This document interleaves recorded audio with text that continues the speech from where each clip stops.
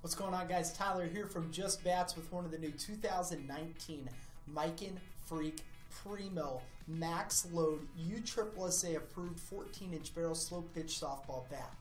Now with this model it is going to be USSSA approved as well as NSA approved and ISA approved. So if you're playing in any of those leagues this will be a great model for you. Now with this, it is going to be that max load, so it's going to have an end-loaded swing weight to it, recommended for big power hitters. Sometimes contact hitters looking to place balls still like the feel of an end-loaded bat. However, if you're not familiar with that, that's something to keep in mind with this model. Now that 14-inch barrel is going to give you a giant hitting surface to make quality contact with. It should help ensure that you're going to be squaring up the ball, at least in the middle portion of the bat, almost every time you take a swing at the plate. Furthermore, it does come with this really sharp black and silver look to it. I think it's a very professional and clean look to a bat. It's got a triple matrix core. That's technology that increases the composite volume by 15%. That's going to help ensure the durability of this model and the consistency as well.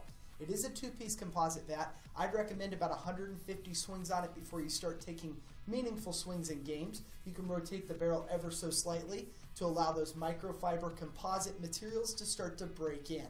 Now, if you have any other questions, feel free to reach out to our 24-7 customer service team. But if you're looking to pick up this bat today, go to justbats.com where we always offer free shipping, and this bat will have a 12-month manufacturer's warranty if purchased through us.